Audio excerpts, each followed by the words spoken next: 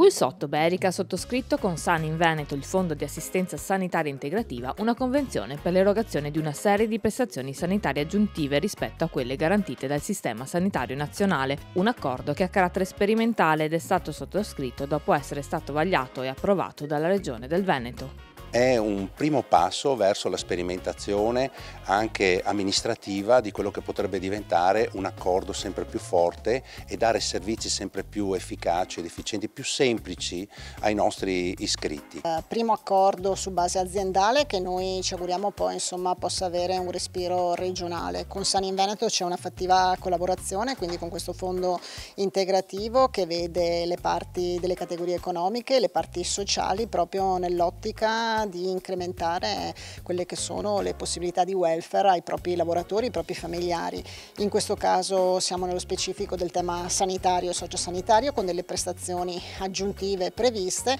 che sicuramente ci serviranno come modello per poi poterlo esportare in una sorta di forte integrazione tra la componente sociale, la componente aziendale, la componente delle categorie economiche ma soprattutto in ottica di welfare a 360 gradi. Due le tipologie di servizi accordati, l'erogazione di prime visite e visite di controllo di diverse specialità e la definizione di un vero e proprio percorso di check-up per la prevenzione e la diagnosi precoce. L'idea di San in Veneto vincente è quella di generare benessere e salute, benessere nei posti di lavoro e salute come prevenzione. Ecco che allora il tema non è solo quello della diagnostica, ma arriva anche a coprire elementi come la tutela psicologica, come la non autonomia autosufficienza, cerca appunto di fare ehm, istruzione intorno a come deve essere un comportamento eh, per prevenire le malattie. Dal punto di vista gestionale, per accedere ai servizi, gli utenti dovranno essere in possesso di un'apposita card di riconoscimento rilasciata a tutti gli iscritti a San in Veneto.